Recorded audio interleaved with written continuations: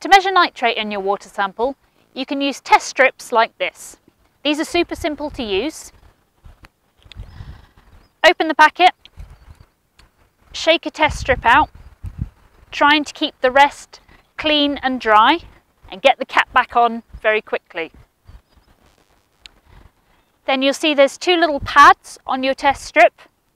Dunk those in your water sample, swirl them round for just one second, and then hold your test strip with those pads facing upwards for 30 seconds.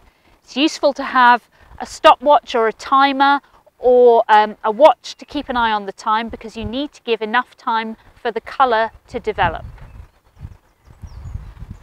There's two pads on this test, one which measures nitrate and one which measures nitrite. You might find that the nitrate is often too low for you to measure, but you should be able to get a nitrate reading.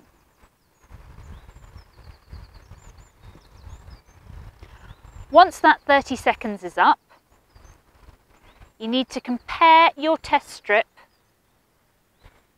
with the colours on the sample test strip bottle. You'll see here that there's a nitrate measurement at the top and a nitrite at the bottom.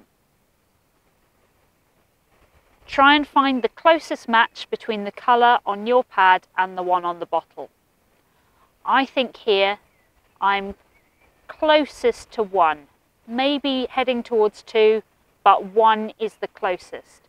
The nitrite, the colour has barely changed at all, but I'm confident that the nitrate is 1 ppm. When you're finished, dispose of your test strip in a waste bag, take it home and pop it in your household waste.